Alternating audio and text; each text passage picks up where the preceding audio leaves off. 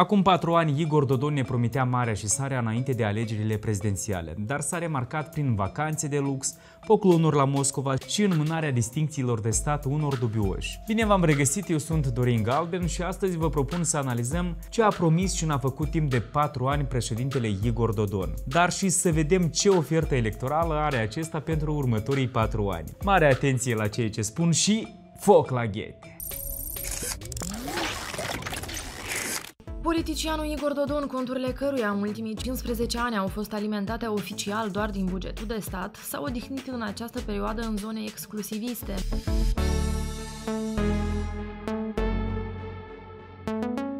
Ziarul de gard a intrat în posesia mai multor informații și fotografii despre o serie de vacanțe de lux de care a beneficiat familia Dodon în ultimul deceniu. Pe lista destinațiilor se regăsesc Maldive, Seychelles, Dubai sau o vilă exclusivistă de pe teritoriul unuia dintre cele mai luxoase hoteluri de pe malul Mării Egee, resort gestionat de familia procurorului general al Rusiei Iurie Ceaica. Iată așa se odihnește cu familia președintele celei mai săraci țări din Europa. Dar haideți să revenim la promisiunile acestuia făcute pentru popor acum patru ani. Igor Dodon și-a accentuat promisiunile electorale în 2016 pe statalitate, neutralitate, identitate moldovenească, economie puternică, dreptate socială și, evident, relații bune cu Rusia. Iată doar câteva dintre promisiunile acestuia care, așa și au rămas doar promisiuni. 1. Voi insista asupra alegerilor parlamentare anticipate.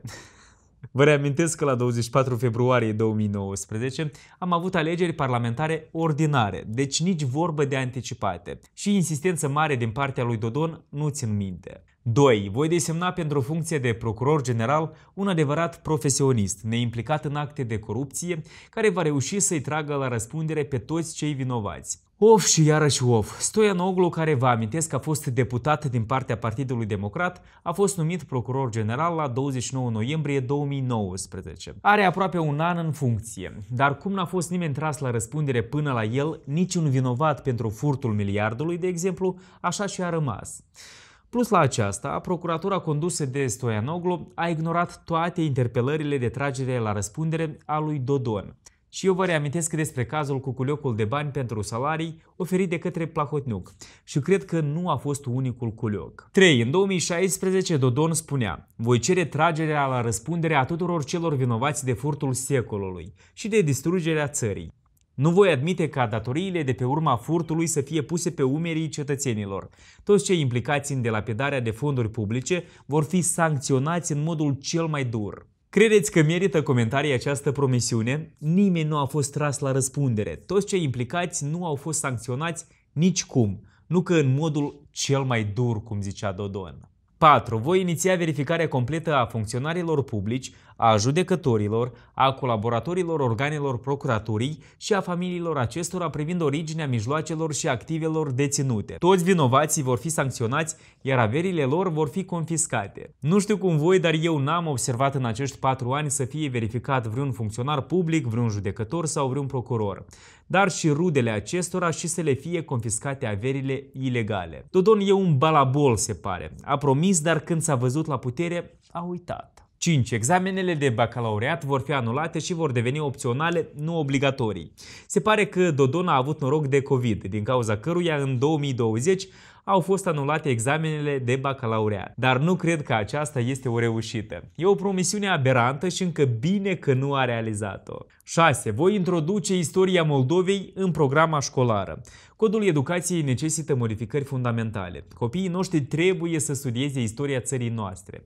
În școli va fi predată istoria Moldovei, zicea Dodon. Din nou o promisiune aberantă. Cu astfel de legi geniale am crește o generație de oameni proști care nici n-ar ști de unde li se trag rădăcinile. 7. Eu am menționat foarte clar că PSRM niciodată nu a făcut coaliție și nu va face cu cei de la guvernare cu oligarhii din acest parlament. Eu am să mor de râs până la finalul acestui video.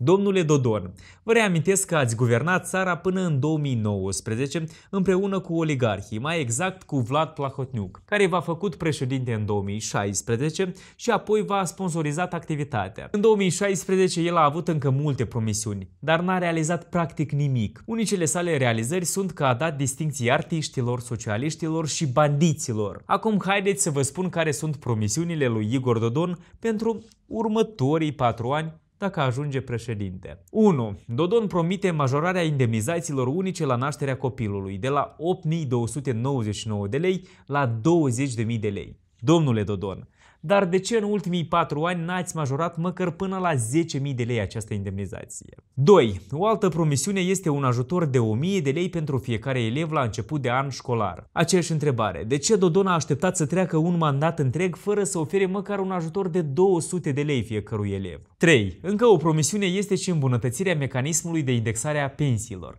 ci că cele două indexări ale pensiilor pentru 700.000 de, de pensionari trebuie să fie în total de cel puțin 10% anual anual. Omul minte de îngheață apele. Care două indexări? În anul curent, de fapt, a fost împărțită în două indexarea care și până acum era, astfel încât pensionarii au primit cu o întârziere de 6 luni a doua parte a indexării. Iar la pensie s-au mai adăugat, atenție, tocmai 12 lei. Asta da majorare după indexare, nu glumă. 4. Dodon promite că până la mijlocul anului 2021 va asigura implementarea unui program de dublare a salariilor pentru peste 43.000 de lucrători din domeniul sănătății. Miese gratuite la locul de muncă, acces la programele de obținere a unei locuințe și altele.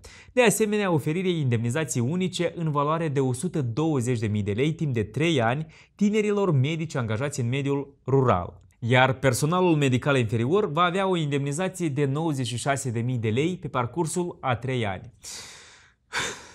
Omul ăsta a uitat cum inițial le-a promis lucrătorilor din sfera medicală afectați de COVID o indemnizație de 16.000 de lei. Apoi guvernul lui a început a căuta tot felul de motive să îi lipsească de această indemnizație iar acum el le promite dublarea salariilor și 120.000 de lei timp de 3 ani celor care vor merge la muncă în sat. Cine să te mai creadă, omule? 5. Igor Dodon ne mai promite construcția pistelor pentru bicicliști, terenuri de joacă și de sport. Dacă un președinte trebuie să se ocupe de crearea pistelor pentru bicicliști, terenuri de joacă și de sport, asta înseamnă că omul habar nu are care sunt atribuțiile unui șef de stat. 6. Dodon ne mai promite amenajarea și iluminarea parcurilor, curților și bulevardelor. Citez din programul său electoral. Orașele noastre trebuie să fie iluminate numai rău decât orașele din țările europene dezvoltate, astfel încât locuitorii să se simtă confortabil în orice moment al zilei. Tovarășe Dodon, văd că pe lângă o leacă medic vreți să fiți o leacă primar.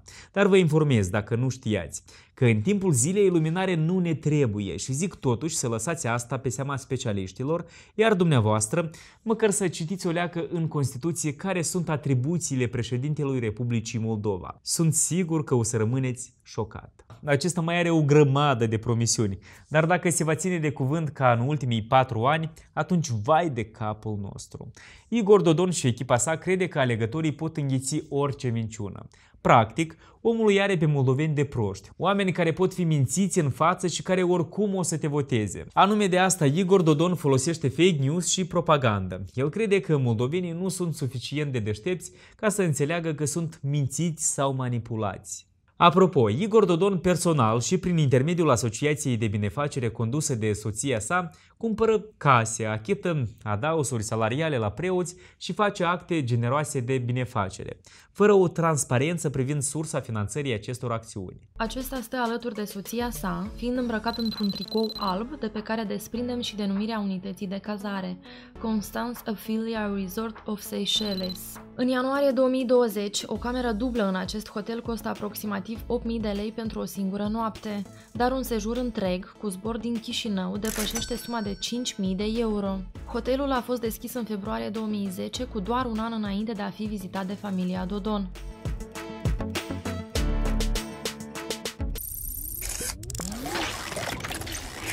Este o vorbă, limba oase n-are. De aia politicienii al de Igor Dodon promit multe și de toate, dar nu realizează nimic. Este timpul să alegem oameni care fac ceva, nu doar care promit. Vă îndemn să vă gândiți dacă un om timp de 4 ani nu și-a îndeplinit nicio promisiune făcută, mai merită să îi se ofere un nou mandat? Până la alegeri a rămas puțin, iar cel mai bine a ilustrat aceasta Alex Bureț. Vă invit să mă urmăriți și pe Instagram, unde zilnic mă dau cu părerea și analizez tot ceea ce fac politicienii noștri. Iar dacă îți place ceea ce fac și consider că e util, mă poți susține pe patreon.com bară 2 galben, ca informația să ajungă la cât mai multă lume bună. Eu sunt Dorin Galben și nu uitați că un om bine informat este un om greu de manipulat.